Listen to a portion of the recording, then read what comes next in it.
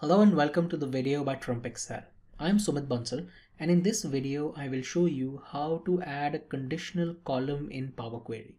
So here I have the sales data and I would go to data and click on from table range. Now this opens my data here and I can add a conditional column here that can check for different conditions that I specify. So let's say that I want to quickly check uh, whether uh, the sales rep is Laura or Stacy and if it is Laura or Stacy then I want to return miss else I want to return a Mr. and then I want to combine those columns so that it says Miss Laura Smith and Mr. Mark Booth or Mr. Bob Martin. So to do that I would go to the add column here and I would click on conditional column here. So now when I click on conditional column it opens this add conditional column dialog box and here I can give it a column name so let's call it prefix. And uh, here I can check the column name which is a sales uh, rep.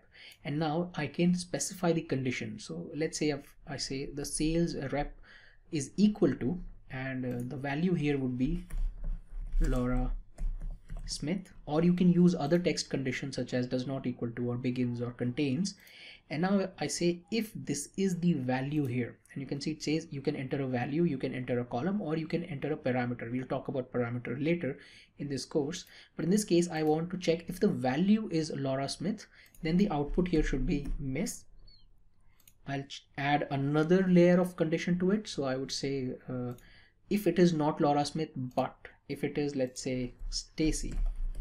So Stacy Johnson then I want miss else if these two conditions are not true otherwise give me Mr. here and now when I click OK see what happens it inserts this column and now here it checks for these conditions so this here is miss here is miss. But for Booth it, it makes uh, Mr. and for Bob Martin it makes Mr. So now I can combine these two columns. So what I'll do is I would first click on prefix column here because the order in which you click is uh, the order in which it combines. So for example if I click on sales rep and then I click on prefix and I click on merge see what happens? It's, it's asking for a separator. I get the separator as space and see what happens it will add miss and mr at the end because I selected the name the sales rep name first let me delete this so what you want to do is select the prefix column first, then select sales rep, right click, and then click on merge columns. And here specify the separator as space and click OK. And now in this case, it would combine these two columns and put it as one column. If you want to keep the original column as is, you will have to come here, go to custom column, you need to create a new column. So let's say new name and here you can combine these two so you can say prefix then space ampersand sales rep name. And now when I click OK it'll insert a new column here.